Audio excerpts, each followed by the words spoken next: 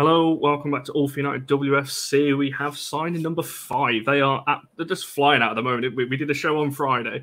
It's like, oh, we've got two loans to talk about, another contract signing. Now we're sat here with another signing over the line. It's uh, absolutely chaos at the moment with uh, with Manchester United, but good chaos, and it's a good uh, good things to uh, to talk about. I'm not going to waste any more time on the intro. I just want to get straight into it. Um, and I'll just come to each of you, I guess, on initial thoughts when we first saw that earlier. A little bit surprising, I thought. It kind of came out today. There was no, I guess, pre presumption that it was going to be today. But Charlie, I'll come to you first in this one. And just your initial thoughts when you saw that we'd finally got Lucia over the line. You're on mute. By the way. Um, yeah, exciting. I think obviously we knew we knew for a while, didn't we? There were murmurings and sort of mumblings that it was coming, um, but I think a really a really exciting signing.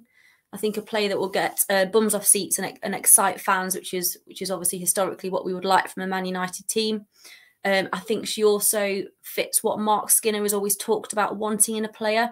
So someone that can perhaps um, fit in across a number of positions. And with regards to her, it's that ability to play across that whole front line um, and the options that she'll give us there. So yeah, really exciting. Um, and I really, really look forward to seeing her um, hopefully kick on in pre-season and then and then step out against Spurs in the first game. Hundred percent. Same question to yourself, Mark, and then obviously Barry. You can follow on from that. Just your initial thoughts when you saw that one earlier. Yeah, uh, it, like you said, Connor, it came out of the blue. No one was expecting it today. Um, but as as Charlie said, we were all expecting it for a while. We first heard the rumours way back when we were playing down in Chelsea that the deal was done. Um, I think she'll bring something different to our front line, which I think we desperately need. So I'm I'm really excited for it, um, and I can't wait to see her in training and in games and roll on Spurs. I just had to unmute. Took me a moment there to roll the old cursor over. Um, I listen. The guys already said it. Um, it was a shock for me. Uh, it was Andrew sent the text through that let me know that that was going on. And um, like we said, it's, it's, not a surprise as such. It's just the timing. I think that's a surprise. Um, everybody's been assuming that Lucia's going to join us eventually, and she has. Um, and I'm really pleased about it. You know, as, as I've said before, I, I, don't tend to get like massively happy or upset at signings because you know I, I have zero power over making those signings or those choices. We've always said it. You know, people get bored of me saying it, but this is what you know Marc Skinner is going to live and die by the people that he chooses. Um, so as far as I'm concerned, she comes in and I'll support her as I do all the other girls, and I wish her the very very best. I'm really looking forward to seeing how she does and how she fits in, and more importantly, we've now got the right hand side of Spain on our side, so uh, that should be good. We've got the right hand side of Spain, the middle of England. Um, I'm just trying to see what country we can get for the left hand side now that, that's a fair point. To be fair, actually, I never thought of it like that. Yeah, Spain on the right, England down the middle. Yeah, we need a left-hand side. I mean, I guess you could argue England as well, but uh, you know, Hannah and Leah. Maybe. Yeah, the England absentees. There we go. We'll, we'll, we'll go with that. Um, before we do move on, John, yes, I do hope your uh, your, your partner recovers from uh, from COVID. There, Absolutely. hope it's not too too bad for you.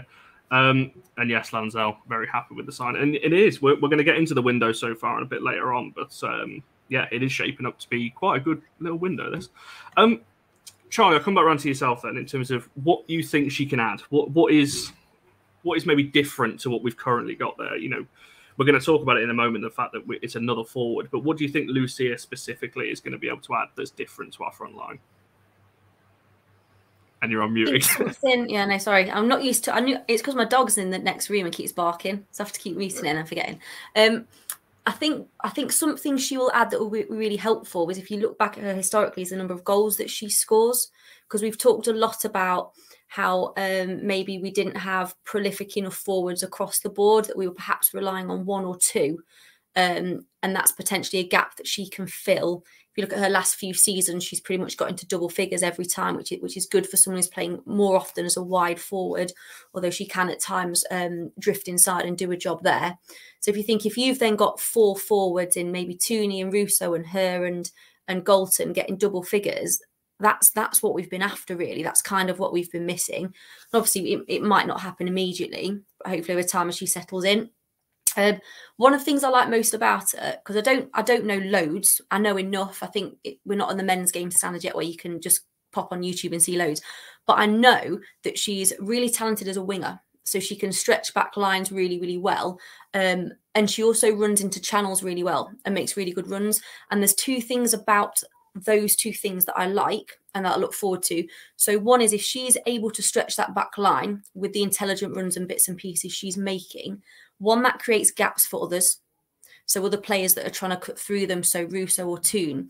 And the second thing is she makes a lot of intelligent runs, and we've talked, haven't we, that maybe perhaps we were missing someone who could do that enough um, to sort of um, pick up those passes from the likes of Zelem and Jackie, who make those good forward passes quite often. But our players weren't always really anticipating it.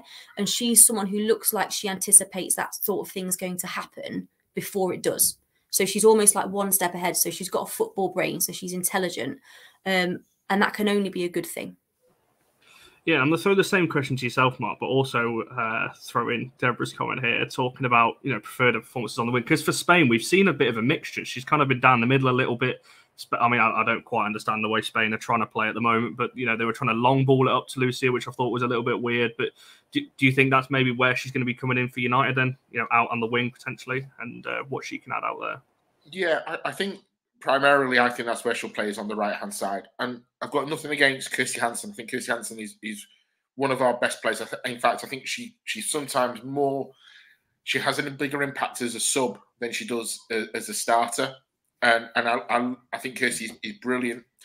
Um, I see Lucia Lucia giving us something that little bit different, uh, a bit of speed down the side, but she's also got you know she's also scores goals, and I think last season when you look at us, us overall, I think we lack goals from from the width of, of the pitch. We rely too much on Lessie. We rely too much on on Tooney.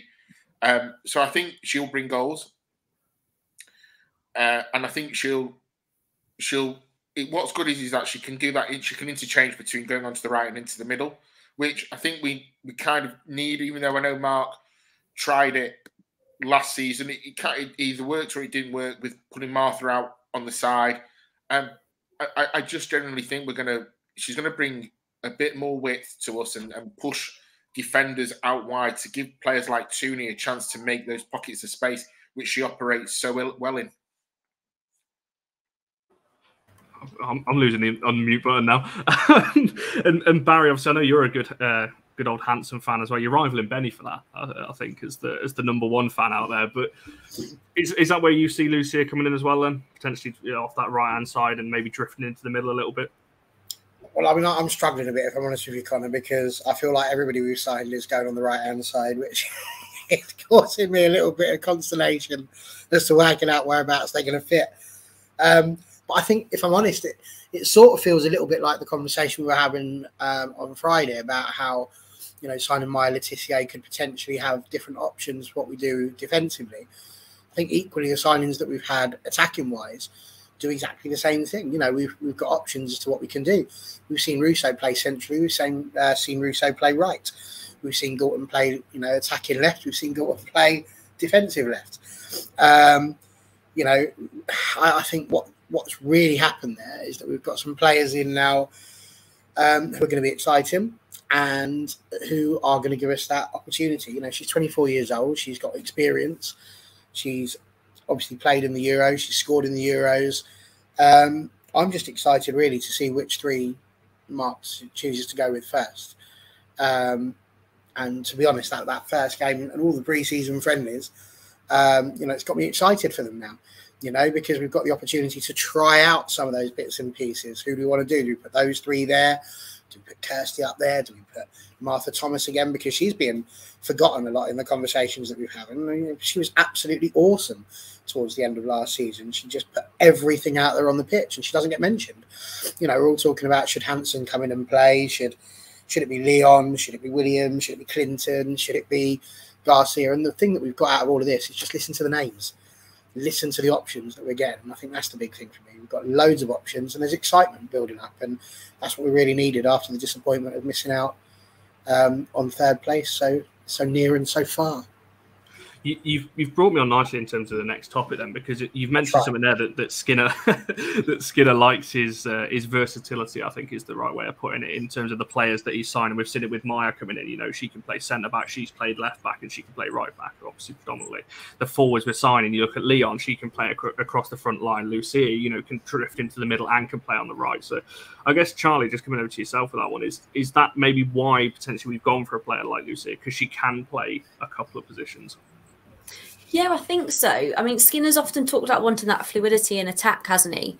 Um, and to to genuinely have um, a group of attacking players that that can interchange um, quite nicely across the front line, rather than just having players you want to be able to do it, but it's not a natural thing for them to, for them to be able to do. Now being in that situation where we have, that's also really difficult to defend against. I think. Um, because we've, I think we've watched United sometimes and we've been like, where's Galton gone now? Flipping she's gone striker now, and someone else has come out. Now that must be hell to try and defend against when you've got players that are doing that. And that's what she's done. She's done that for Spain. She's done that um, for Athletic Bilbao um, really, really well. That's one of her strengths is that she can do that. So I think Skinner's going to be rubbing his hands together. Um, and obviously, there's lots of chat now about who who's who who going to pick. You can't leave this person out. What an incredible position for us to be in as fans. We've been crying out for this for this number of players, this number of attackers. There might be gaps at the back and still need to fill in, but what an attack we're starting to build, um, and such an array of different attacking talent we've brought in. I think sort of bringing her in, she's she's feels like a bit of a, a bit of a splash one to me. But if you look at her, you look at Leon, you look at Williams, regardless of what you think of them, what a range of attacking talent there, and there's so many opportunities there for different approaches to games, or or depending on who your opposition are and things you can change beyond just right this is not working let's just now start lumping it forward from centre back which we saw a bit last year because there was just not much else we can do. And i think just getting her in now was also a really good winger means you can stretch that back line. You can play a 4-4-2 if you need to you can play a 4-3-3 there's so many options now. Like Russo and um, Martha Thomas might play as a two. That could happen at times um, because we now don't need Thomas playing out of position. And then if Thomas isn't starting what brilliant backup she now is to Russo, whereas we didn't have one before. Um, so I just think, from an attacking perspective for Man United women, it just looks really exciting. See, hearing you all talk, I'm thinking we're going to beat Spurs like six or seven nil here, talking about yeah. the, attacking, the, attacking, players that we've got. But I, I, guess, Mark, same question almost to yourself in terms of it's it's it's not a bad problem to have, is it? Because I guess that's what we were saying last season. We were all saying at Chelsea, look at the players they can bring on. That potentially could be us. Whatever you think of the players, we've got different. I tweeted earlier, different dimensions to our attack now. We, we don't just have the one way of playing now. Yeah, no, absolutely. Sorry.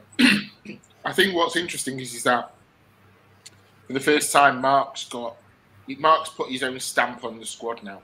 He's got rid of players, with all fairness to Kirsty and Martha and and Fran Bentley, that he can't guarantee time for, and he's bringing in players that will improve that squad and, and hopefully take us to the next step. Off camera, I wrote down what I think will be his starting 11. And I'm looking through it and I'm just thinking, oh my God, the players he's left off, the players that are not, I can't get into this starting 11. For the first time, actually, it might keep some of the players on their toes. It might keep the players that bit more hungry. You know, I always talk, you know, one of the things I always go back to is, is what Sir Alex Ferguson used to say. He goes, if we win the league or we don't win the league, I will bring in players to keep all the other players on their toes to help improve them.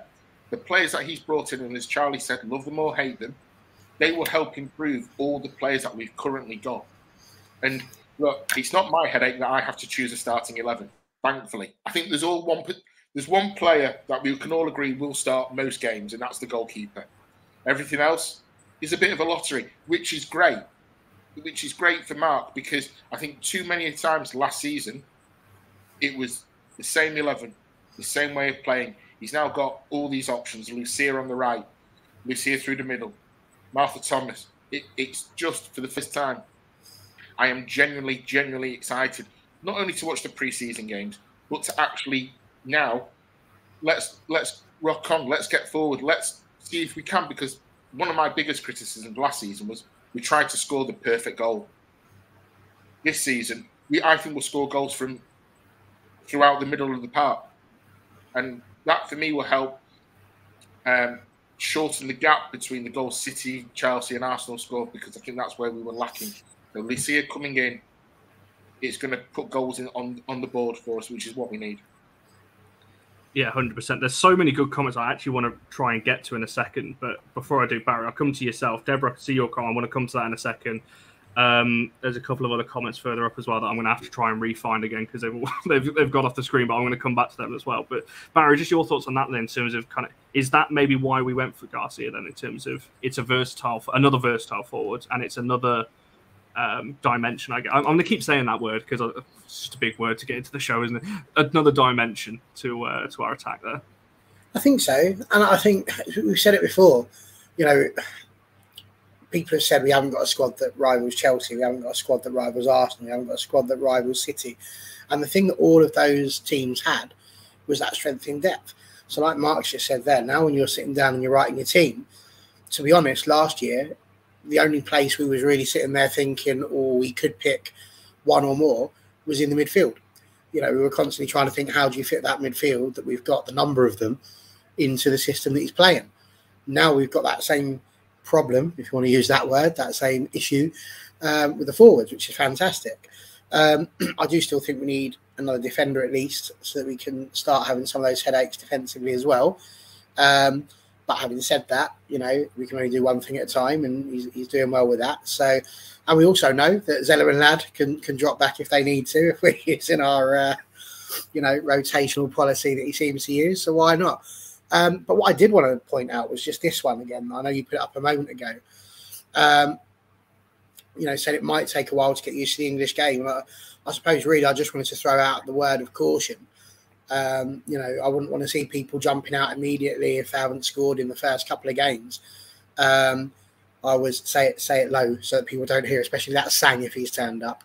But I was watching the Chelsea documentary that um, that was on DAZN, and Sam Kerr didn't score in the first few games. Emma Hayes was scratching her head, wondering what was going on and when she was going to start scoring, and eventually she did. And you know, the, the story wrote itself then after that. But um, so yeah, I, am just excited. I think it's going to be really good and I, think it is really important that when we're looking at our bench, we're looking for players that we know are going to make it, uh, you know, the right impact on the um, on the game, really. And I suppose that's where where Deborah's point of Mark needs to be a bit quicker with his subs and, and being a bit more um, cleverer, if that's the right word, or, or make the right sub. I still can't go Aston Villa. I'm sorry. I, I taking the striker off and putting a midfielder on. I'm, I'm going to struggle with that until the day that I die. Um, but he's allowed a few mistakes. I, I, can't. We'll leave that there. I'm going to come back to that comment in a second, actually. But go on, Charlie. No, just, yeah, just a couple of things. There's like one thing based off uh, what Mark Mark said earlier about the options we now have going forward. It, it also felt a little bit last season like if you nullified our initial threat or our initial game plan, it, we struggled after that. And now there's so many options, there's so many bits and pieces that can be happening that it's not just a case of, well, if we stop Tooney and Russo, they're done really, done for. And that's how it felt a little bit last year. Whereas are these other options now? And also with regards to Garcia, obviously, I agree with what Barry said about it can sometimes take people time to bed in, but it's not just goals that she offers. Like if you've watched her, and I don't mean the last two games she played in the Euros because she was she's like as my height, like she shouldn't be playing as the number nine. Did a disservice. If you watch her in the first game, that's that's a better assessment of what she can provide. But with the ball at her feet as well, running one v one, she's one of the best I've seen. Um, I think she's also incredible at that. So she'll commit fenders, uh, defenders and she'll do things like that as well. So it might be that she doesn't come in and she's not prolific straight away, but there are other things that she offers with the intelligent runs that create space for others, uh, with her agility, or 1v1s that will probably lead to goals being scored by other people more regularly as well. Yeah, I tend to agree with that. Um, to be fair, and I just wanted to go back to um, I've lost it again. um, this comment that Deborah made about about the subs there. Are we? Uh, this is open to anyone who wants to answer it. Is this potentially we're seeing now that Mark's getting the players in that he trusts and wants? So maybe we will see the substitutions earlier next season because he is looking at the bench, going, "Oh well, I, you know, I, I know I can bring you on in this position, and you'll do this role and that kind of thing." Is that maybe now what we're seeing with the type of signings that he's making? Don't know who wants to jump in on that one. Yeah, I, I do. I think that's exactly what it is. I, I, I, I think it's it's it's quite easy for people to go back and look through the squad last season and go, it was still Casey's squad. Mark didn't. Mark came in late. He didn't really get his stamp of stamp on it with all the players he brought in. And I think he just wasn't sure of some of the players if they could come in and change the game. You know, the two games that I always look back to is Everton away, Tottenham away. If we would have had, for example, a Rachel Williams on the pitch at that time, she would have slowed it down. She would have been able to influence the game. I know she was on the pitch, but not for United. So, um, she would have she would have been able to influence the game and calm it down and keep possession. Which sometimes I think there's a certain naivety with us. I think someone said it before. We just loop the ball forward and, and hope for the best. Um, so I think he's bringing in a squad of people so he can make his subs earlier.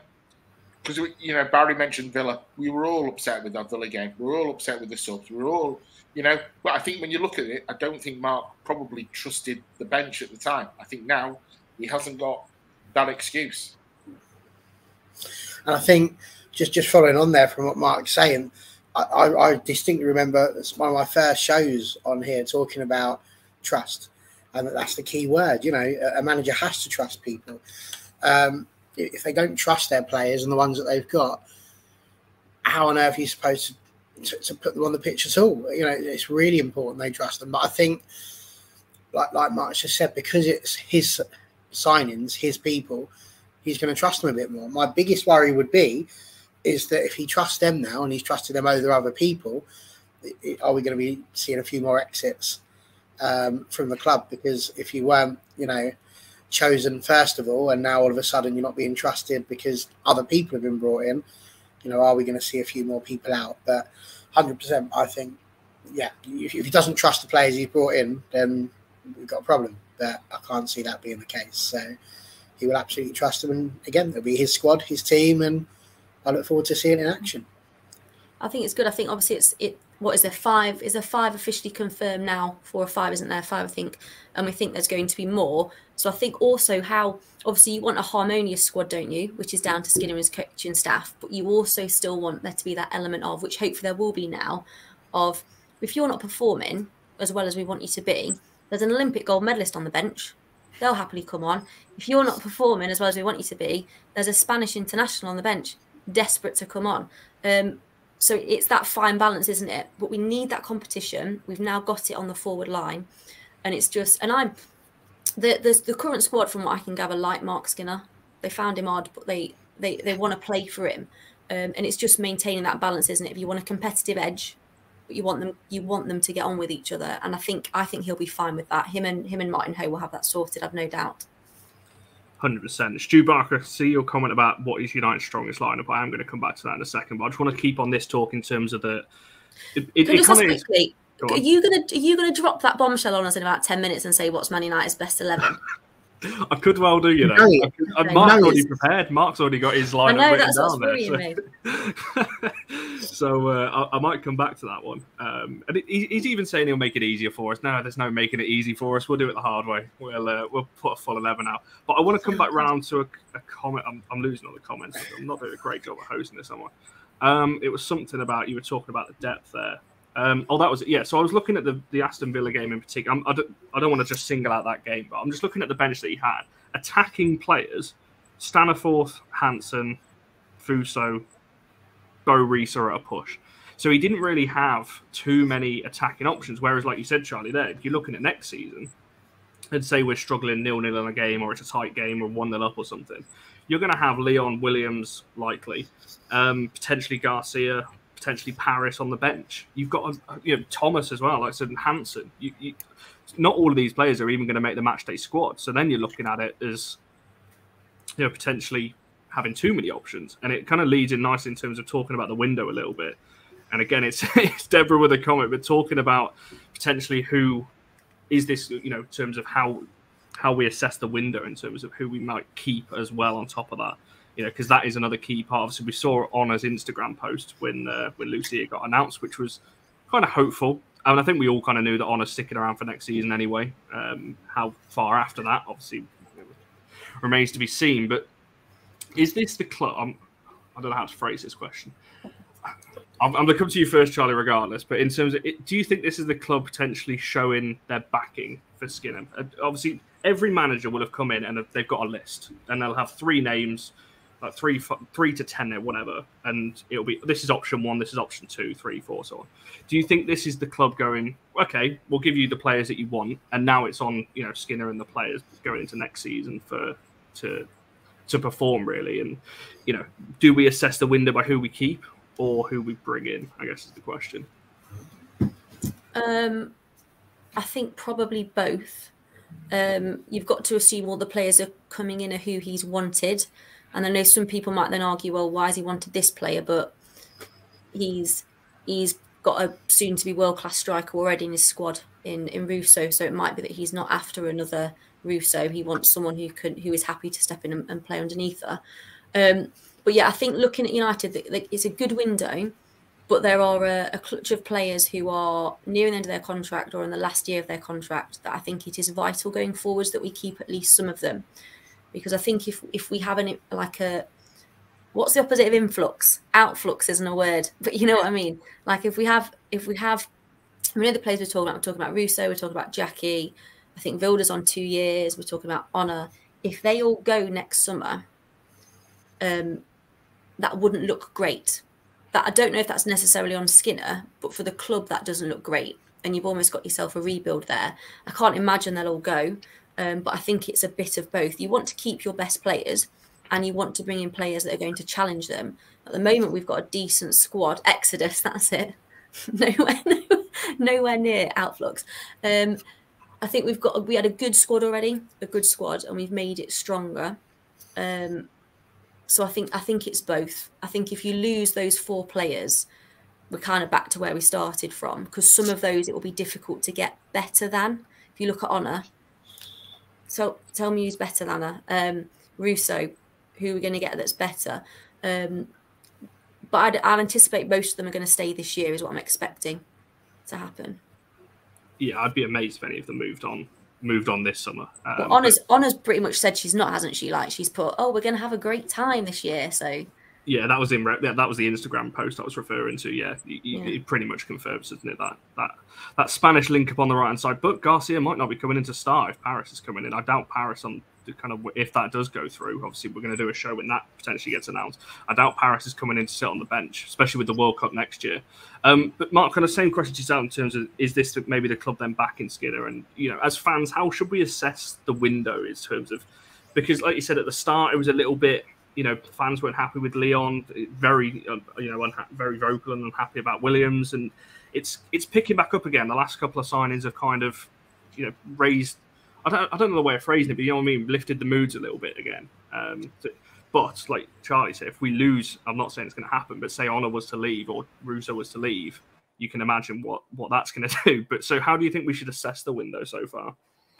I was having this conversation with Deborah, you know, a couple of days ago, because obviously we've all heard the rumours, we've all heard who's coming in and, and not. And when you look back historically since the start, since we went into the time, you can't obviously count our championship season because we kind of brought the team together. I think this is our best transfer window ever. Now, people will probably disagree with me on that because you know you're bringing in the likes of Rachel Williams and potentially Nikita Parris. I, you know, I'll, I'll accept those opinions, but when Nikita Parris was leaving City, most United fans were calling out for her to come to United all right, it, it's taken its time, and, and she had a a bad season at Arsenal, but she had Viv Miedema in front of her, Beth Mead, Tobin Heath as well. You know, there was were reasons why she had a, a bad season. So I genuinely feel it's probably been our best transfer window ever. I think the club are backing Mark, and I think they kind of needed to. You know, you go through the press and you go through the um, the, the tweets and everything out, and you read that we've got the word one of you know the sixth, the fifth or sixth worst financial you know uh, budget in in the WSL. That doesn't help. But you know the club have, have put their money where their mouth is, as Charlie said. Mark now has to get these players on the pitch playing for him, which I'm sure he will, I'm picking up results I'm playing as a team. And I'm I'm like I said before, I am genuinely genuinely excited about it. You know, we've got some class players. We really have, you know, Lassie Tooney, Lucia coming in, Jackie. We've got some quality players all around the pitch now. Last season, Tooney, Lessie, Jackie, were they the three that everyone would, you know, put bums on seats potentially? I think now you've got a lot more, and uh, you know, I think it's also very clever business on the club if they do bring in Nikita Parris. You know, it, she's a lioness. It, you know, it will bring more people into the ground, hopefully. So I, I think it's a it's a clever signing. Uh, I, I see the I see why people are upset with it. I get it, but she's got a great record in the WSL before she went to Arsenal, and if she can score goals, then that's what we're all crying out for, just to score the goals. Hundred percent. And uh, Barry, just before you jump in on that, are we going to get a uh, live rendition, Charlie, of uh, of Viva Espana? You said uh, you said you'd be doing it. said you'd be doing it there. Are we going to get a live Yeah, rendition fine. now? Yeah, I'll I'll whip that out first game of the season, no problem. As long as we've got a whole row to work with, which I usually have, no problem. I'll be all over that. Look forward to hearing that. Go on, Barry. She knows we're writing that down, right? That's that's got on the list of things that she's doing on the fans forum. um, yeah, I think it's been a tricky one for Marc because we've said time and again. I remember one of the first shows that I did was about investment versus passion. You know, is it the desire for playing for the club or is it the investment?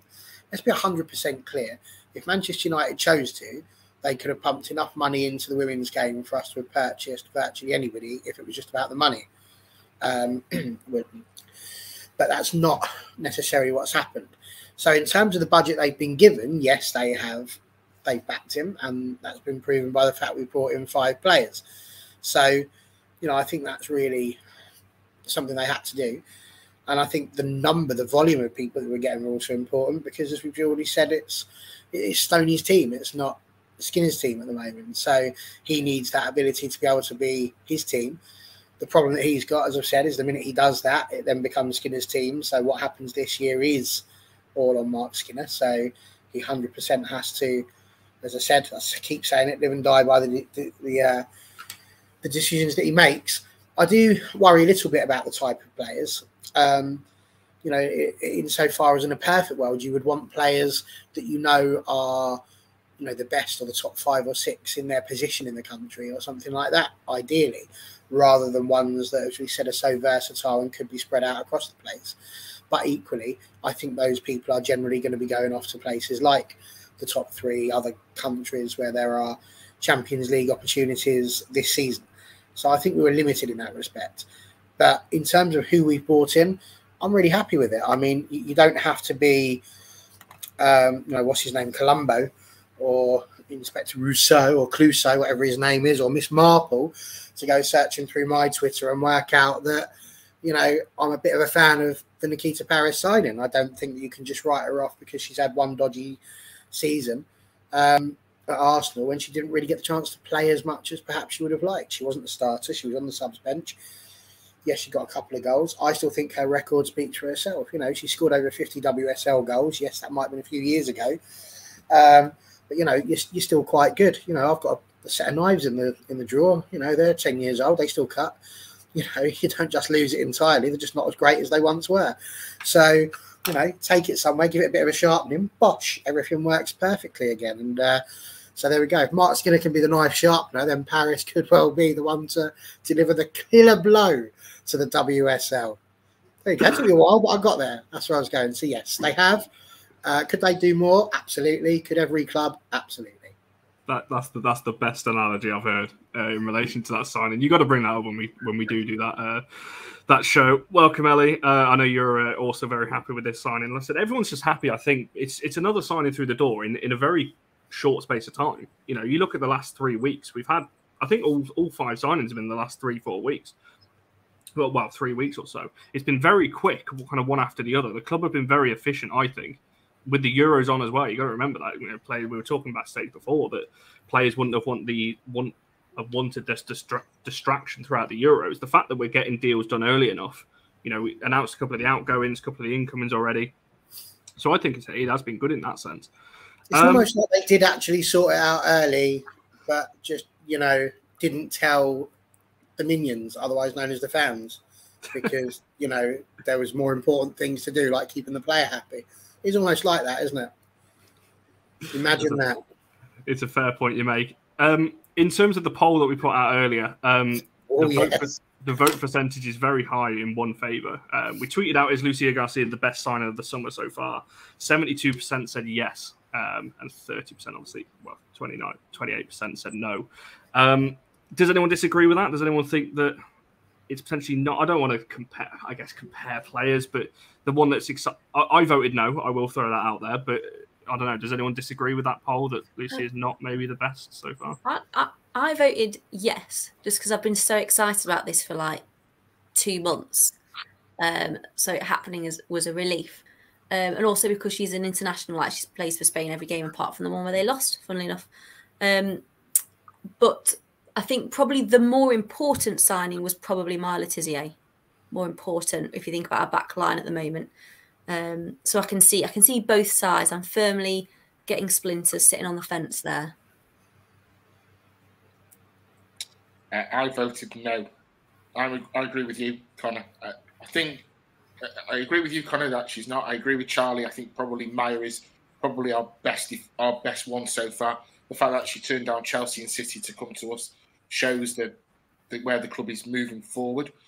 I also don't want to put too much too much pressure on her on Lucia to come in, and if she doesn't, as, as Charlie and, and Barry said, if she doesn't do it in the first two three games, the crowd will just get on her back again. And I know some elements of the crowd probably will, some won't. I just don't want the pressure on her. I want, you know, you need the time to come in. It's a new country for her.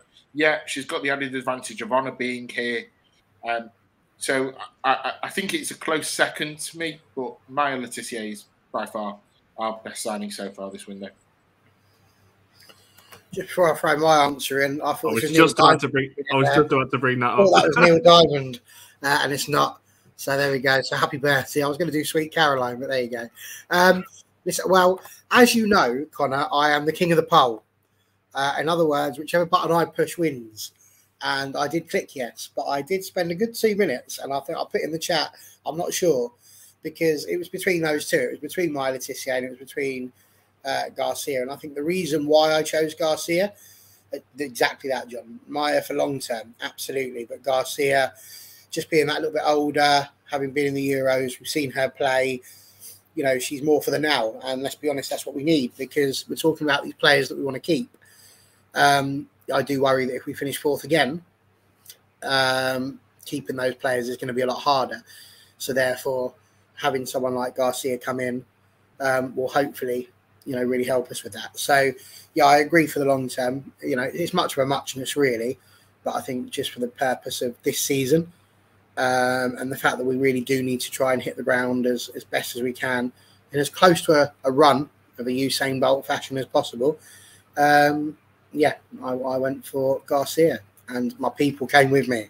Yes. Interesting, interesting. I said I'll give my reason. Like I said, I just think Maya. Um, I think, like I said before, I don't think Maya comes in and sits on the bench. I I think she's that good. She, I think she makes one of those slots her own, wherever that is across the back line. Um, and I also agree with that comment. Best, you know, whoever's got Millie back in training already. You know, Mm. We don't know the full extent of, of what happened, but having I tweeted it the other day off the I think it was off the Ultimate account that you know having her back is like a new signing um, because we've got another you know we know the injuries that we had particularly at centre half last season. Um, I want to move on slightly because he's been waiting a while, good old Stu Barker, for the comment that he, he, he actually said about 25 minutes ago. So I'm going to scroll all the way back to find it. Um, we'll try and do this as quick as we can. Um, I think goalkeeper is pretty set now. Um, don't, unless anyone's going to massively disagree and throw a curveball out there, but I think we're all going to stick with Mary Earps in goal, so we're not going to go too much on that one. And I think two, potentially three out of the back four are pretty solid as well. In terms of what you what you're asking there, Stu, what's your strongest lineup? How should we how should we do this? We'll do four three three then, because, well four two three one, That's whichever way you want to look at it, because that's the most common formation. Unless anyone wants to throw a four four two out there, but um, right, instead of Is debating, what everyone would fit? Is everyone fit? yeah, we'll go, we'll go for a fully fit squad. Um, and I'll just come to each of you then. and So if you want to run through an 11, then we'll go from there.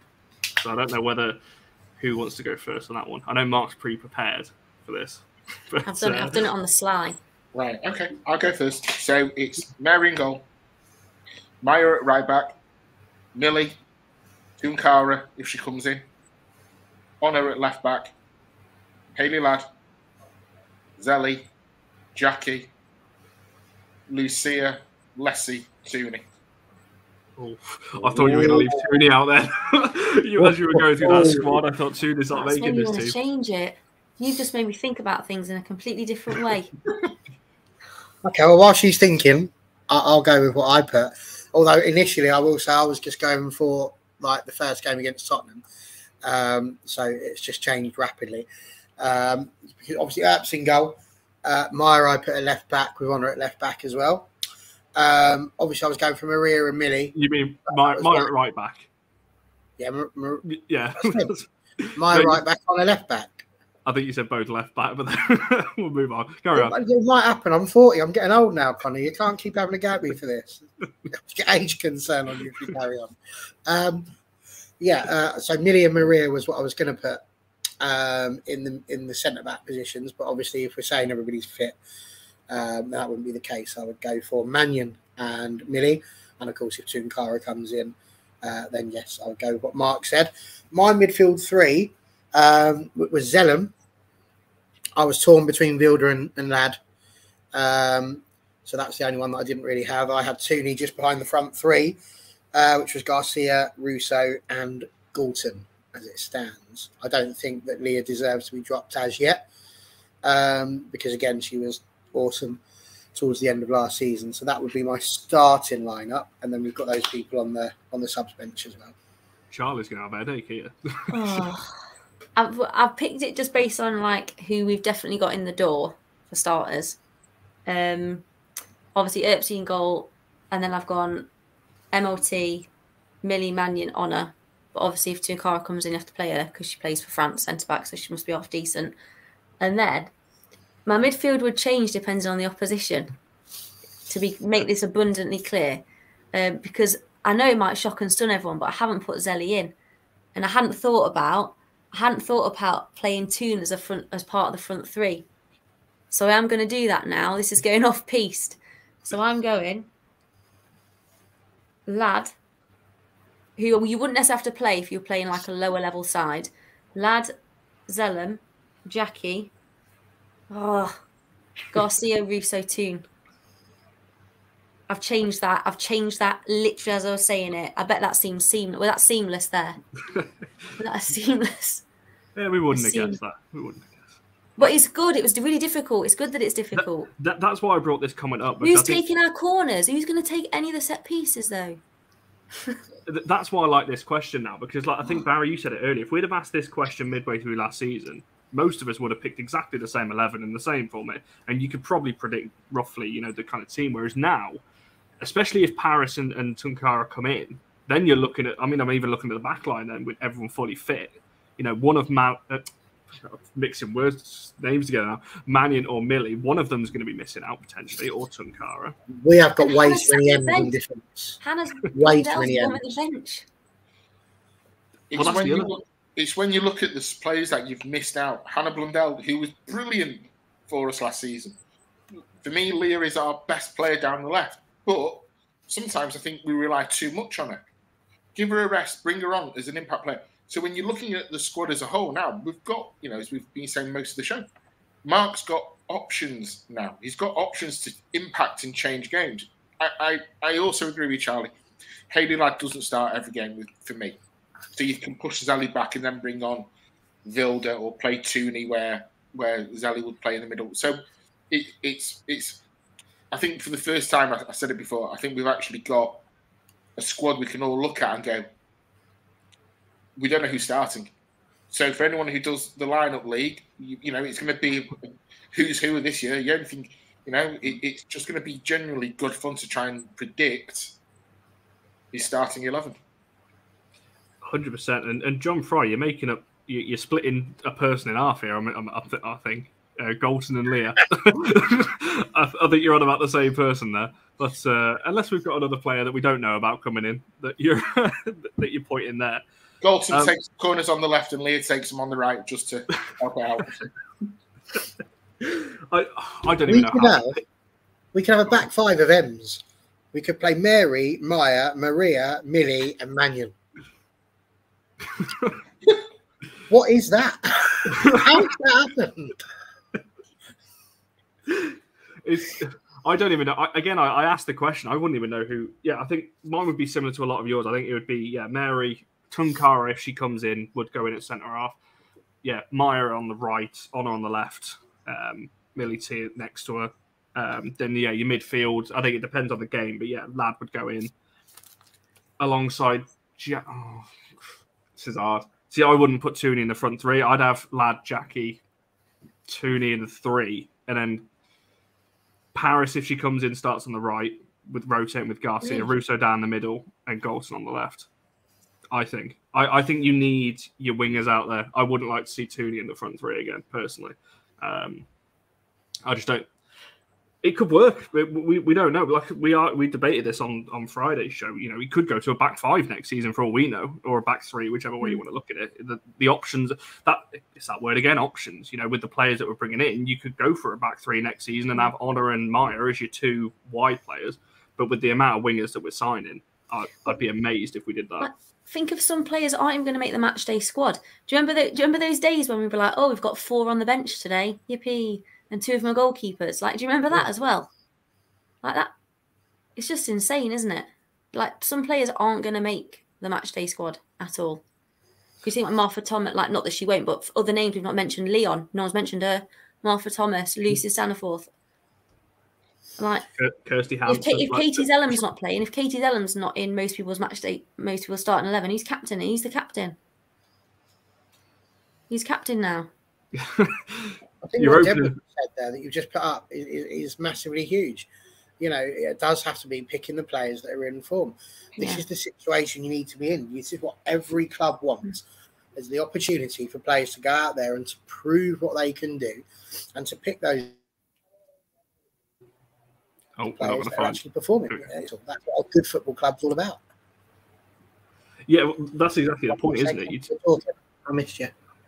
I think you, you broke up. I think I don't know whether that was just for me or whether it was for everyone else, but you did break up there. I think you're back with us, so it's all good. Um, but yeah, you're talking like I said, you're talking about options there, and I think that's the good, that's the best thing, Charlie. When you're talking about who's not even going to make the match day squad, that's why I mentioned it at the start of the show because you've got Lucia coming in. There's obviously hype around her. You, it's like I said, you'd expect her to start, but like I said, if you sign Parris, you'd expect her to start because of the, the, wages you'd imagine she's coming in on. You don't sign a player like Parris to stick her on the bench. And like I said, I think what I like with these signings, particularly if Parris comes in as well, but you're looking at Leon as well. Players, I think somebody said this on a show a couple of weeks ago. Players that have got a point to prove. You're looking at Leon, you know, trying to prove a way. In, I know she's highly rated over in Canada, but you know, trying to force a way, you know, even more into the Canadian squad. You know, she's coming back to prove herself in the WSL. Didn't fully work out West Ham. You got Parris, you know, wants to stake a claim for the for the World Cup next season. You know, for England, so she's going to be on, you know, pushing next season as well. And you're looking at Garcia, a new league for her coming over, bit of a point to prove, almost to show, you know, look at the kind of player I am coming in alongside on the side with Ona as well. So it's not like she's coming in on her own. She has got that connection there as well. So it it is exciting, isn't it? I think it's uh, that's the one word I think I've got from today. It's uh, excited and kind of optimistic, I guess is the word. But And Maya's going to want to prove herself higher up as well because she's going to want to get into the, you know, into the team and, and to ensure she's got her place. As will Grace Clinton, you know, someone who's not mentioned much at all. She's been brought in. She's not even been mentioned yet, you know, and we know that she's capable of doing the stuff. So this is the entire point, Connor. We've just got so many options, so many players, and we shouldn't be scared of that. We shouldn't be scared of that. that, that's exactly it. And you know that point there, we'll have a good bench, and you know what Stuart's saying. Well, we've actually, whether you agree with the signings or not, we have got a bigger squad now. Um, it makes me a little bit. I'd be amazed if we don't. We might see another outgoing. I'd be amazed if we don't, um, whether it's a loan or something. Because I think you can have options, but I think at the moment we've maybe got too many, particularly on the right, um, because you we're potentially going to have five players there. So maybe. Um, and yes, John, more options than at a buffet. You get the same thing at a buffet. Like it's, it's that old Peter Kay joke, isn't it? It's just the same table with mirrors, and you just keep having the same thing over and over. Um, I want to move it on slightly. Then, obviously, coming up towards the end of the show. Um, there's been loads of people watching, loads of comments. Absolutely, really enjoyed the the uh, discussion on Garcia and the transfer window so far. Um, and before we do move on, actually, Andy, I missed your comment there. Front four of Garcia. There's just so many names. yeah, like I said, pick pick your three or four from the. Good luck to Marc Skinner on the first game of the season. That's all, that's all I say. Especially if some of these have a good preseason. Um. He's going to get pelters, whatever happens. How's this player not playing? Why is this player playing? The joys, the joys. I can't wait.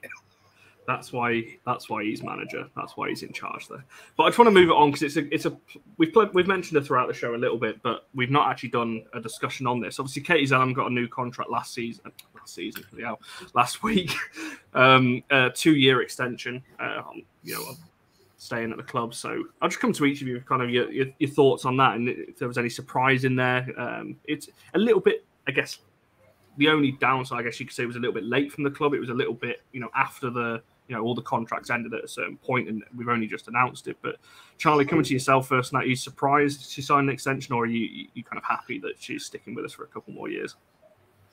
Um, no, not surprised at all. I'm really glad that they've kept her. They've kept her on. Um, I think she's an important player for us, and there's all sorts that she can offer. Um, I think she leads. Obviously, we know I'm a fan of her. I think she leads really well. I think you can see that in how the players react to her. Um, we've also seen a couple of times live how she copes with the players and the management when when the game's not going as perhaps both sides of that would like. She's she's she deals with that really well. I think as a footballer, she offers so much. I think she knows uh, when to pick the game up, game up, when to slow it down a little bit. She's a phenomenal set piece taker, um, and she's more than done her part this last season um, with the goal contributions, particularly when you're considering she's she's played a little bit all over really, and, and a lot of the time outside of her comfort zone. Um, and I know I know for some reason she's divisive, but for me, um, I think she has so much to, like as isolated as a footballer. I think she has a lot to offer, and I think she very clearly has the dressing room as well, which is really important. The the the, the captain doesn't necessarily have to be the best player on the pitch. And quite often, for any Man United side, that's not been the case. It needs to be someone who can unify the coaching staff and the players and lead by example with regards to how hard they work. And I think that is her um, in a nutshell. Yeah, same question to yourself, Mark, and then obviously Barry, follow on from that one. Uh, I think it's great news for the club. Uh, again, like Charlie, I'm a massive fan of Zelly. I think she, her dead balls, I think she's probably the best in the WSL for me, with dead ball situations. You know, we you know we can talk about you know scoring from corners and, and all of those things, but penalties, free kicks, she's she's really good and she's also a Manchester girl, which is important to have in the. I think it's important to have in the dressing room. Someone who understands the club, the ethos, what it means, and what it stands for. So I'm I'm overly happy. I am really happy about it. I, I think. Um, will she start every game next season? It, you know, it's a question that only Marc can can answer that for us. I think she'll start most, but overall, it, it, it's a brilliant, brilliant bit of business for United to keep her there for another couple of years, um, and to give us that, you know, level of stability with the middle of the park with Katie. I think there's other players around her that you could potentially not play every game, like like we mentioned before, like Hayley Ladd. But I think Jack, uh, sorry, Katie starts most games for me, just because of what she brings on the pitch. I think you're right. I think to me, I mean, we, we spoke uh, when we did the show about Katie specifically um, about how important she was to the club um, and how she's the captain because she's the leader. And we mentioned how a leader is is somebody who people want to follow, and she very much has that. You know, she has that with the old dressing room. I think the key for Katie um, is going to be if she gets that with the new dressing room as well uh, with the new players. And I have absolutely zero reason to believe that that won't be the case because obviously all of the old players will still follow her and and still want to to run through brick walls for her as well. So I think it's fantastic. I think Ella Toone extending her contract was big. Um, but I think when your captain extends the contract, when we are on a precipice seems like too too emotive language, but when we're at a, a crossroads, there we go, a bit of a crossroads as to where we could go. I think Katie signing the contract was huge because it, it sent out the message to everybody. I'm here for two years. You know, I'm not going anywhere the year after next, whether we're Champions League or not. You know, I'm in it for the long haul. And I think that's what you need. You need that commitment. Um, and the fact that we've got that from Katie, I think, is is massive. I don't need to talk about her skills. We've done that before. Charlie's just mentioned it. Mark's mentioned it. I think it's fantastic, and uh, I think actually, um, I don't know if you just put this one up, Connor, or not, but you know, that's it for me. She epitomises what Man United stands for. You know, she's there, she's loyal, she she fights for the badge, she fights for the players that are with her, um, just like Tooney does. And to be honest with you, I think those those signings, those extensions of contracts are huge. And those are the things I think that are going to be really important when it comes to keeping people like Alessia Russo when when her contract's running down. She's going to need those people. And you know, you've got Ella Toone as her best friend, and and Katie Zelem, who's the the captain that she's followed. And I think as long as you've got those people in both ears, um, then that will drown out any other noise around her. Hundred percent. You you summed it up perfectly. It's, a, it's an analogy that I always use now. You know, a captain, someone or a leader is someone that you want to follow, and clearly those girls will follow her. Um, they clearly, you know, she's well liked in the dressing room, and and that's a good thing there. And you know, Andy's talking about you know, with the depth and defense, Jade Moore. Jade, I forget we have Jade Moore as well for next season as well. That's another player to more choices. oh, you have to get a pun in there somewhere, don't you? Um, but yeah, you're talking. That you know, Zelem last season was obviously dropped you know, she played the holding role at times, which again I don't think is her best position, and she played centre half, which clearly isn't her best position either. So, and yeah, she played centre back when she was needed and did quite well there. To be fair, considering that's not her position, she did actually really well in that game. Yeah, and I actually thought that game at West Ham, I actually thought she was the player of the match for us mm. because it was a it was a horrible night to play football in, and it looked like to me she played there for most of her career. She she just was calm and cool on the ball and that's what she brings that calmness. While sometimes you've got the youth around her who just want to bump the ball forward at a million miles an hour and, and hope it breaks. Katie is one of those people that can dictate play, but uh, you know you go back to her in the championship season where she was played as an attacking midfielder. That for me is her best position, where she can rove and roll and, and, and get and pick up the ball in spaces and, and make those passes because Jackie is a great passer. There is no doubt about it. But I also think Katie is a close second to, to Katie, uh, to Jackie on her passing ability. Um, so for me, it, it's a win-win for, for the club. It's a win-win for Katie. It's a win-win for most people actually when you look at the bigger picture.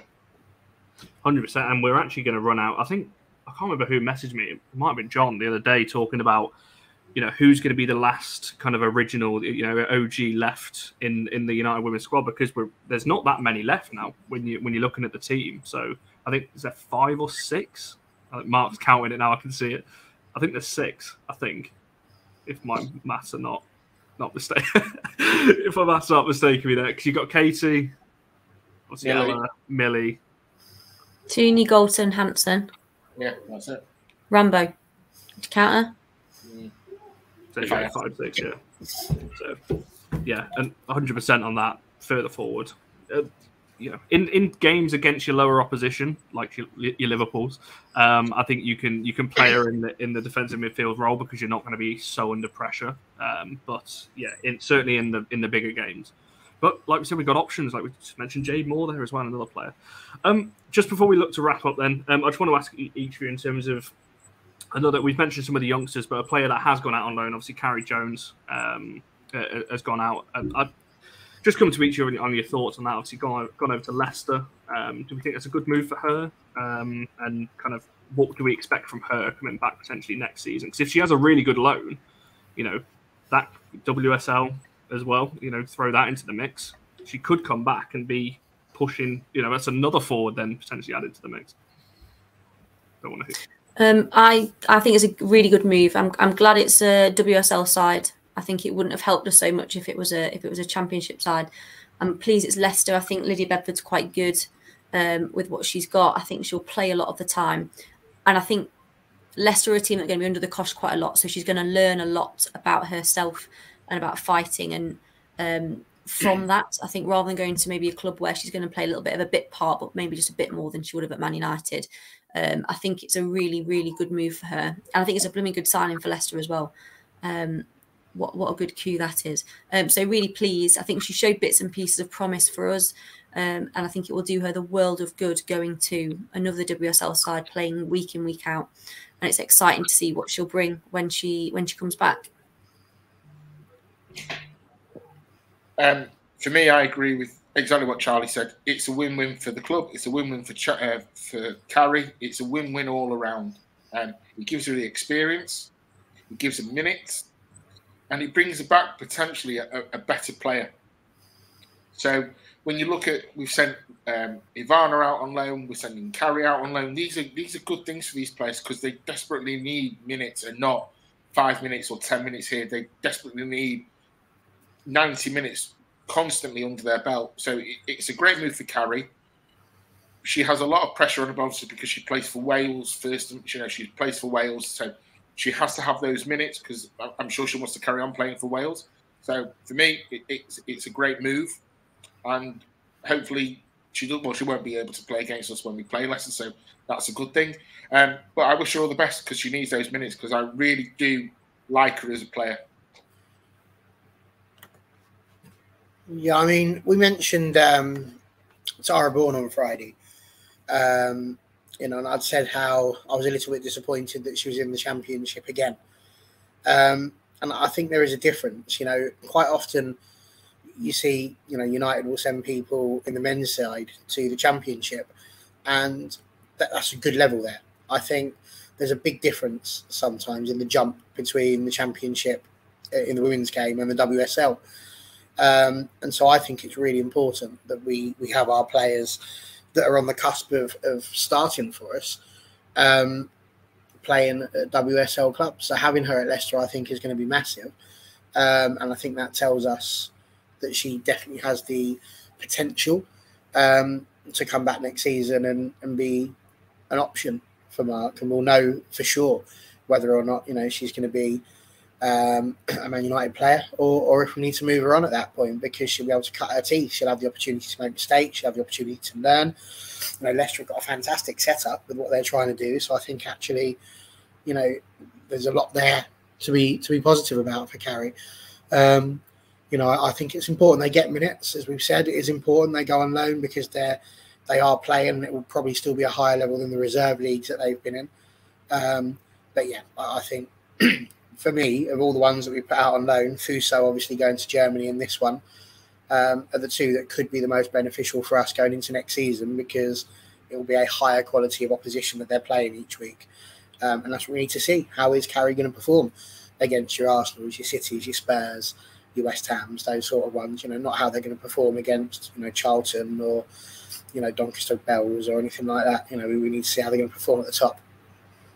No, 100%. especially a side like Leicester, like I think Charlie, you said they're going to be under the cosh a little bit. So Carrie's kind of pace and a hold up play is going to be called. Whereas obviously for the Devs, very promising team, but because they're winning every single week, they're, they're well, most week, you know, they're used to they're all technically very good. Whereas she's going to Leicester, she's going to get that chance. She's going to be under the cosh, going to have to track back. She's going to have to hold the ball up. She's going to learn in those other, you know, what's the phrase? Something to her strings to her bow. That was the phrase um, that maybe she wouldn't have learned uh, in the Devs. Mark, I can see you've unmuted there on that one.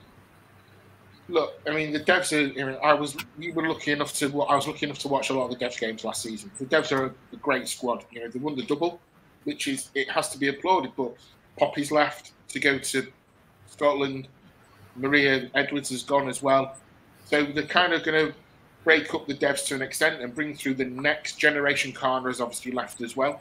So Carrie is too good for the for the development of the team. She's far too good. She stands out by by a mile. So going out on loan to a WSL side, and I agree exactly with what Barry said. The championship, it's it's neither here nor there. You know, if if if she's going to want to go, if they're going to send her to a championship side, with in my opinion, they might as well have left her in the devs because the quality is much better.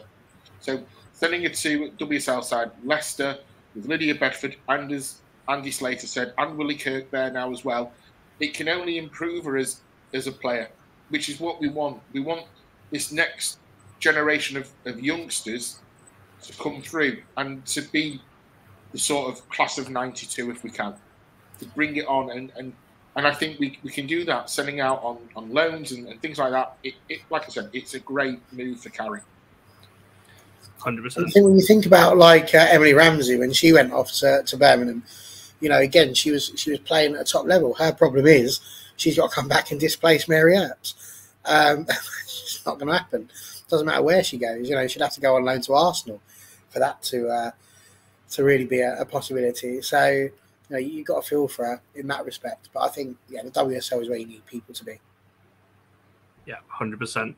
Um, we'll wrap it up there. Before we do wrap up, obviously, Mark, you've not been on for a, for a while, but I want to come back round to yourself in terms of obviously we're coming. I say coming up to the new season. I'm jumping ahead of myself. Here. We're still about five six weeks away, but obviously supporters club and everything like that. Obviously, I'm assuming is there going to be a bus? I imagine for Spurs on, on the first game of the season whenever that gets announced. Obviously for the for the date. yeah, I'm, I'm I'm I'm pretty certain there will be a bus for both Spurs and West Ham, which is in the first three weeks of the season. Um, so we're in the process of trying to get prices and things, and obviously with the cost of living the way it is, it's it's not cheap, but we're trying to do the best we can for everyone to keep it at an affordable price. Um, so yeah, so with a bit of luck, hopefully there should be some news coming out relatively soon about it from us. Um, and then yeah, then we're in pre-season, the first pre-season games next week for the girls. And then before we know it, there's Toulouse for some of us. And then we've got the league start and it, will come around quickly. It, it really will. And I'm looking forward to it. Oh, go on, Barry. So, uh, no, I was, I was just, I've actually signed up, which is really good. so the supporters club. I got myself on that. They, have got themselves a, a fancy new um, online sign up sheet, which makes it much easier. So we didn't need to send anything by pigeon or, or even worse, the Royal Mail. So uh, that was good news. So thank yeah. you for that. And, and Barry, you were the first one to try it as well. So you were our guinea pig. So and it worked. So that's even better. Ta-da! There we go. Do I get a special badge for that? yes, you can have uh, last season's as well. Yeah, love that.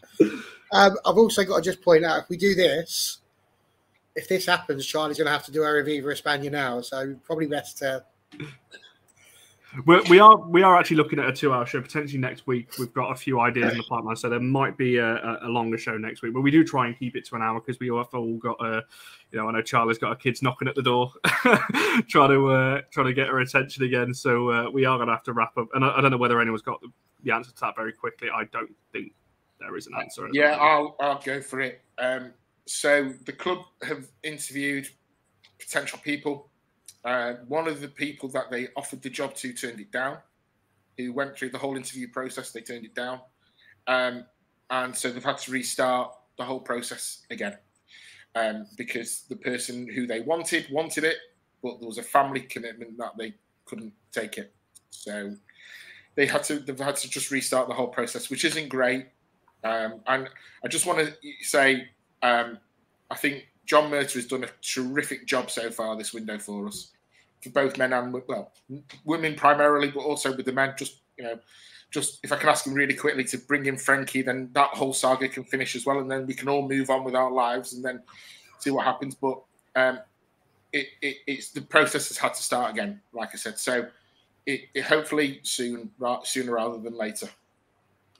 No, hundred percent. We'd all like to see that role fill, but I agree with Slater's point there. You know, would it have been enhanced by a head of women's football or anything like that. The, like you said there, you mentioned John Murtough. The deals are getting done on both sides of the club, and I think whatever you think of them, I think the club have acted better this summer, um, and and hopefully that continues. Yeah, I mean, I think the, the, the one point that we made before we came on air is is that people wanted all these announcements before the Euros, and the club were never going to do that. So the club have, in my opinion, got it right. They gave you know Martha her chance to say goodbye.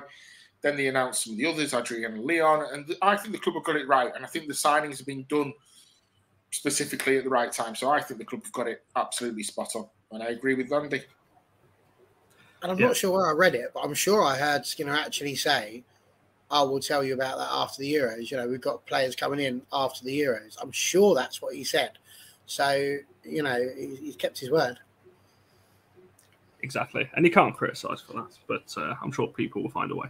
Um, anyway, we will uh, we will wrap it up there. Um, we'll be back on what day is it?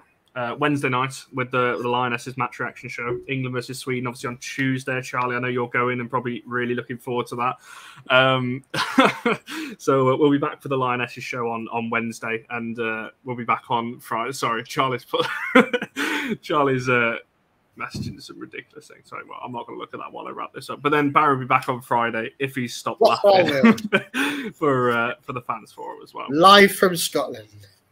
Exactly. What, what, what more can you ask for? Um, there's been a lot of new people in the chat tonight. It's great to see and great to have the discussion. Mark, thanks for coming on, and obviously Barry and Charlie as ever. Make sure you're following the supporters club. I'll put all of that stuff uh, in the description if you are new. Make sure you're liking the video and subscribing as well. We are near, we're on the way to 700 now, so uh, that would be greatly appreciated. That was a really loud whistle. but, uh, oh, that's throwing me off. Right, I'm going to end it. Thanks all for watching. I'll see you guys soon.